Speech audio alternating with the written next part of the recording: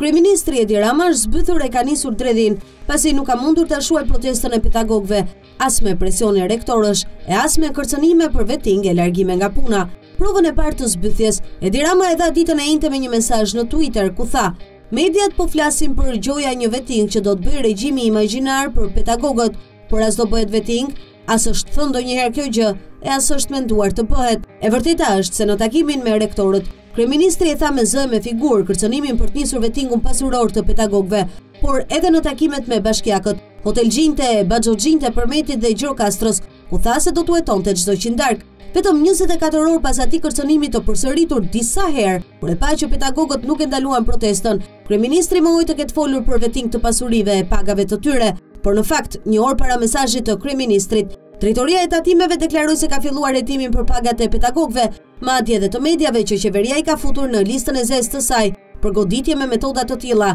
nga që projektligjin e censurës ia bllokuan SHBA-BE. Provën e dytë, Edi Rama e dha me dredhinë e tij se pagat e pedagogëve do të rriten pas daljes së dimrit, kur të bëhet bilanci i shpenzimeve të energjisë, ndërkohë që para 24 orësh deklaroi se sa të jetë kryeministër, nuk do ketë rritje pagash mbi masën 7 për qind që u dha. Siç duket, dikush i ka bërë të qartë kryeministrit se kërcënimi i pedagogëve me vetting pasuror e madje dhe fillimi i këtij procesi nga tatimet është shkelje e rëndë ligjore, pasi ata nuk janë subjekt ligjor i verifikimit dhe vepër penale me objekt shantazh. Përveç se është tërhequr vetë, Edi Rama ka ngelur i pakënaqur nga rektorët, Dekanët dhe administratorët e universiteteve shtetërore, të cilët nuk arritën të bllokojnë protestën e pedagogëve, megjithëse i premtuan kryeministrit, është e pritshme për karakterin plastelinë të Edi Ramës, që brenda 24 orësh të kërkojë takim me pedagogët e quajtur shikas, me shpresën se nëpërmjet llogjeve e mashtrimeve do t'i bindë të ndalojnë protestën, siç bëri me grevën e studentëve para katër vitesh.